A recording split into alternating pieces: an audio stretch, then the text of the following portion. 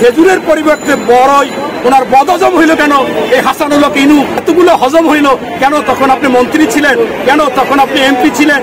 এবার আপনি এমপি পারেন নাই। এই জন্য আপনার বড়ই বদহজম হয়ে গেছে। স্পষ্টভাবে ওনার কথা না। আমি উনি যেটা বলেছে, উনি বলেছে শিল্পমন্ত্রীকে, যে এই বেটা তুই খেজুর খাবি আর বড়ই খাবি খেজুর খাবি আর আঙ্গুর খাবি আর আমি বড়ই খাব, তোরে পাচার উপর লাথি মাইরা এই বাংলাদেশ থেকে তারাই দেবো শিল্পমন্ত্রীর উদ্দেশ্যে সেটা বলেছে। তবে আমি বলতে চাই যে এই আওয়ামী লীগ আজব এবং একটা বেহায়া দল। সেকেন্ড হচ্ছে আপনি বড়ই কথা বলেছেন। আমি, আপনারা জানেন যে এই সরকারের মহাজোটের একজন মন্ত্রী ছিল।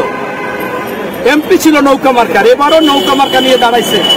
সেই ভদ্রলোক, উনি একসময় এই শেখ হাসিনার ফর্মুলা বেগুনের বেগুনের পরিবর্তে কুমড়ানি হজম করেছে, আবার মাংসের পরিবর্তে কাঁঠালও উনি হজম করেছে। এরপর দেখেছেন তেল ছাড়া রান্না, পেঁয়াজ ছাড়া রান্না, এরকম অনেক কিছু হজম করেছে। এখন ওনার এই খেজুরের পরিবর্তে বড়ই, ওনার বদজম হইল কেন? এই হাসানুল্লাহ ইনু যিনি মনে করেন অনেকেই তাকে ধান্দাবাজ, প্রতারক, অনেক কিছুই বলে।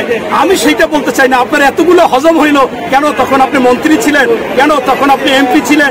এবার আপনি এমপি পারেন নাই। এই জন্য আপনার বড়ই বদহজম হয়ে গেছে। স্পষ্টভাবে ওনার কথা না। আমি, উনি যেটা বলেছে, উনি বলেছে শিল্পমন্ত্রীকে যে এই বেটা তুই খেজুর খাবি আর বড়ই খাবি খেজুর খাবি আর আঙ্গুর খাবি আর আমি বড়ই খাব, তোরে পাচার উপর লাথি মাইরা এই বাংলাদেশ থেকে তারাই দেবো শিল্পমন্ত্রীর উদ্দেশ্যে। সেটা বলেছে।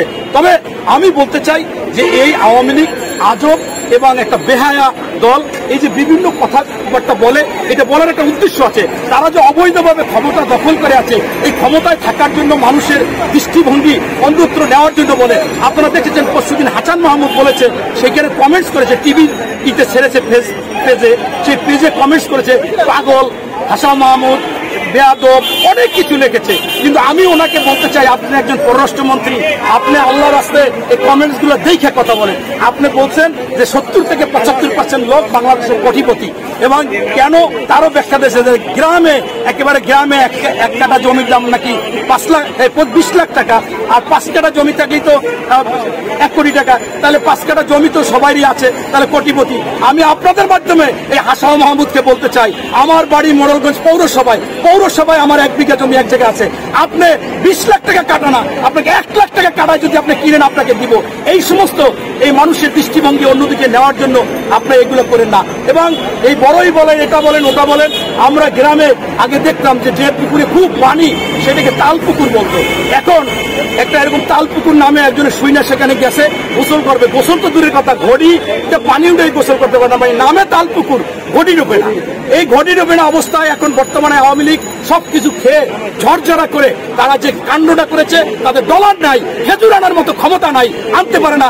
এখন আপনার সেইখানে আমাদের স্পষ্টভাবে আমাদের সবচেয়ে আমরা যারা ইসলাম ধর্ম, আপনারা জানেন যে হজরত মোহাম্মদ সাল্লাহ সাল্লাম তিনি খেজুরকে ইফতার করতো এবং তারা, তার একটা পরামর্শ আছে যে তোমরা খেজুর খাবা সারাদিন পর। সেই খেজুর আমাদের বাংলাদেশে একানব্বই থেকে তিরানব্বই পার্সেন্ট মুসলিম কান্ট্রি সেখানে আমরা সুন্নাত পালন করি। খেজুরের মাধ্যমে আমরা ইফতারি করব।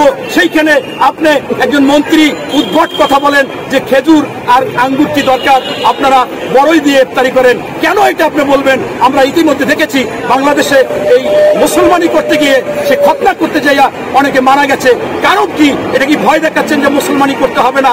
আপনারা কি সেই খেজুর না খাইয়া আমাদেরকে আস্তে আস্তে অন্যদিকে নিয়ে যেতে চান? আপনারা দেখেছেন মাদ্রাসার বই ছাপাইতে, বাংলাদেশের বোর্ড বই ছাপাইতে আমাদের দেশে এত প্রেস ব্যবসা নাই, কাজ নাই সেটা ভারত থেকে ছাপিয়ে আনছে, সেখানে দেব দেবীর ছবি দিচ্ছে।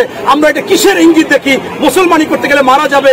আমার দাদা তালই, তার বাবা, তার দাদা আমার ভাই ব্রাদার আমরা তো মুসলমানি করতে সাধারণভাবে কেউ কোনোদিন এরকম মারা যায় নাই। কেন আজকে এই ডাক্তারের মাধ্যমে মুসলমানি করতে মারা যাবে? কেন বইতে আপনার সেই দেবদেবীর ছবি আসবে?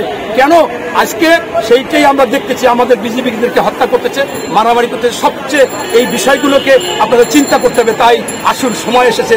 রুশ ভারতের দালালেরা হুঁশিয়ার, সাবধান। রুশ ভারতের দালালেরা হুঁশিয়ার।